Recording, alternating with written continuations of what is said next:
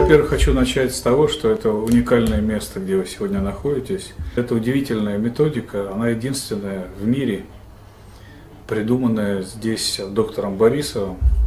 И это маленькая клиника, это единственное место в мире, где можно вылечиться с ее помощью. А в 1992 году в России было 832 тысячи случаев зарегистрированных раковых больных. В 2011 2 миллиона 600 тысяч. У нас идет эпидемия, пандемия рака. Она очень простая для понимания. Дело в том, что раковая клетка отличается от нераковой только одним признаком очень важным.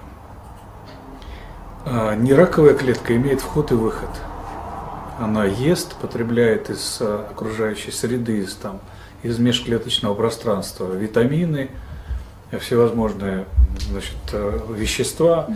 и потом это все, все у нее выходит э, как, как бы отработанный продукт. А раковая клетка имеет только вход. Было принято решение попробовать, что будет, если ввести в организм человека хлорофилл. Обычный природный субтракт из растений. И оказалось, что хлорофилл – это очень полезная, в общем, штука. И нераковые клетки с удовольствием его потребляют. Они выделяют оттуда витамины, кислород и, наоборот, оздоровляются. А когда он попадает в раковую клетку, он там накапливается. Лазерный луч стал проникать очень глубоко в организм в этот момент импульс и попадать именно в ту раковую клетку, где накоплен хлорофилл.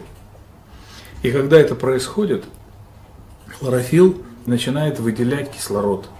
А кислород самый большой яд для раковой клетки, потому что он мечется по этой раковой клетке, не находя выхода, сжигает ее изнутри.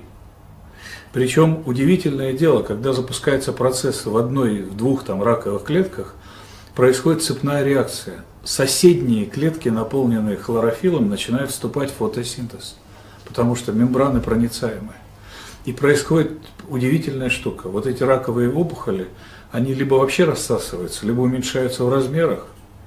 Безусловно, убирается всякая возможность появления метастаз, потому что хлорофилл ищет просто отдельные даже маленькие клеточки, раковые по, по телу, которые еще не, не формируют даже опухоль все равно они, подвергаясь воздействию вот этого фотосинтеза, да, убираются.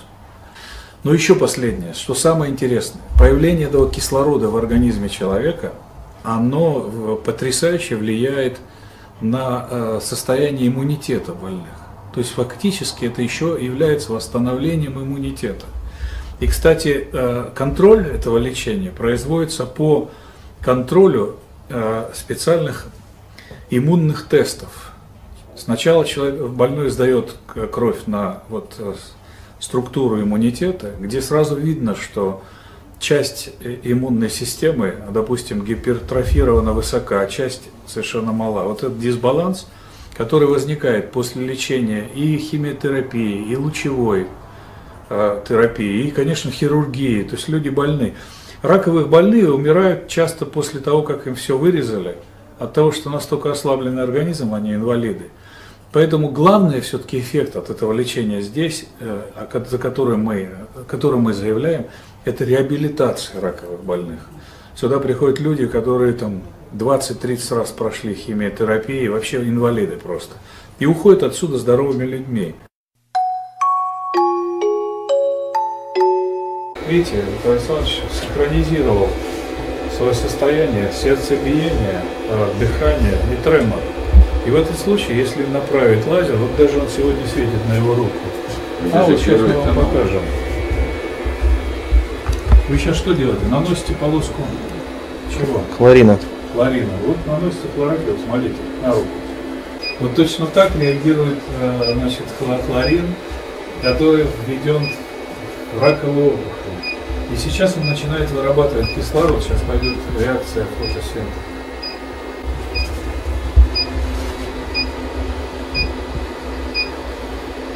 Сожалению, клиника сколько состояний принять больных? 20 человек в день? Ну, И все. Это из тех самых 2 миллионов 600 тысяч, которые нужны мне. Скажите, доктор, хлорофилл для организма не вреден? А вы каждый день его кушаете? Да, только он у вас, я так понимаю, в каком-то другом состоянии. Не, в таком же. В таком же? Да, только Ну формула я хлорофилла. не тогда, я тоже должна светиться. Да, но если бы, как говорится, у нас не было в желудочно-кишечном тракте соляной кислоты, то мы бы были зелеными человечками. А так как у нас соляная кислота трансформирует хлорофилл совершенно в новую форму, а после этого ферменты расщепляет, Да, я поняла. вот и все. У нас импульс продолжает 70 наносекунд, мы его даже не чувствуем. И потом, почему импульсный режим? Вот вы берете гвоздик, и вот, вот я, например, сделал гвоздик, начинаю толкать его в стену, он не входит. И взял маленький молоточек, там 30-50 грамм веса. Тюк-тюк-тюк, а он вошел. Вот это импульсный режим, чтобы вам было понятно. А почему именно датчик пульса, дыхания, тремора надевается? Ведь клетка, как птенец, раскрывает клювик, и туда попадает кислород. А она опять его закрывает и спит. Вот. То есть существуют какие-то временные режимы. И оказывается, все клетки нашего организма привязаны к нашему дыханию, то есть кислород мы загоняем в клетку. Дальше идет что? Пульс, систола, диастола. И если посмотреть на руку, мельчайшее отражение, это и есть тремор. Отражение капиллярного кровотока. И когда здесь систола подогнала, вот положим к этой клеточке кислород, клетка открылась, и туда попал кислород. Понятно, да? Вот в этом весь принцип. То есть фактически прибор срабатывает только тогда, когда клетка готова к приему сигнала. Через компьютер это перерабатывается, и когда клетка открыта, туда попадает нужный нам сигнал. Понятно? Да. А там уже находится хлорофилл, который ждет этого момента, Да, чтобы начать вырабатывать кислород.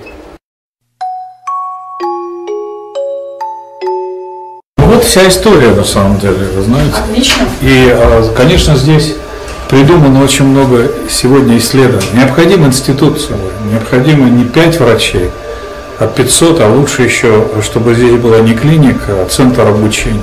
Потому что, как вы видели, на самом деле методика доведена до очень простого практического применения. Все вот эти штуки можно поставить в каждой поликлинике, ребята. Чтобы у нас не 2 миллиона 600 тысяч было больных, чтобы Россия не была на 127 месте в мире по медицине. Понимаете, а чтобы мы сделали скачок, чтобы мы объявили, что Россия единственная страна в мире, которая, во-первых, первое уже можно сказать сразу, реабилитирует раковых больных, прошедших вот эту экзекуцию страшную в своих странах. Это побольше денег, чем Газпром. Неужели это непонятно? Что весь мир сюда поедет. Так выглядит монограмма больного раком. Так. Все это видите? Видите нарушение? Вот видите? Зелененьким выделили. Да? Ну, на самом деле. Хорошо. Вот. Вот видите, организм всегда пытается компенсироваться за счет других отделов. Вот это это и есть нарушение. Если мы в этом случае применим иммуностимуляцию, мы вот эти параметры вы, выровняем, а, А эти улетят еще? Совершенно правильно вы мыслите. Покажите еще. Или монограмма соответствует монограмме больного со СПИДом. Потому что основа – это снижение уровня CD4 хелперов. Но в данном случае нет вируса, есть Понятно. рак. Я поняла. Это было 16 марта, вот дата. Мы его пролечили в течение 9 дней и провели контроль. 20 апреля мы видим Всё. полное восстановление иммунитета. Самое интересное, что у этого пациента особенный рак, который обычно заканчивается летальным исходом через 6 месяцев. Через 6 месяцев у него просто рака не нашли, все рассосалось. Вот. Чаще бывает по-другому. Вот появляется женщина, у которой вот такие вот изменения, они менее выражены, чем у этого молодого человека. Вот. Но женщина уходит на химиотерапию. Смотрите, Это стандартный метод лечения. Видите, какая катастрофа произошла? Обычно в этот момент идет метастазирование. И понадобилось целых два с лишним месяца для того, чтобы восстановить и маммограмму у этой пациентки. Вот она иммунограмма после восстановления. Но я хочу немножко обратить внимание, к чему приводят, Да, я поняла. К чему приводит химиотерапия. Поэтому наш метод разработан для поддержки Для организма человека, для реабилитации после таких тяжелых методов лечения, как химиотерапия, лучевая или оперативное лечение, после которого вы тоже должны восстановиться каким-то образом. Вот. Естественно, восстанавливая активный иммунитет, мы восстанавливаем фактическое здоровье человека, не теоретическое, а фактическое. А что бывает теоретическое здоровье? Ну, конечно, у нас же здоровье по стране считается, но статистика,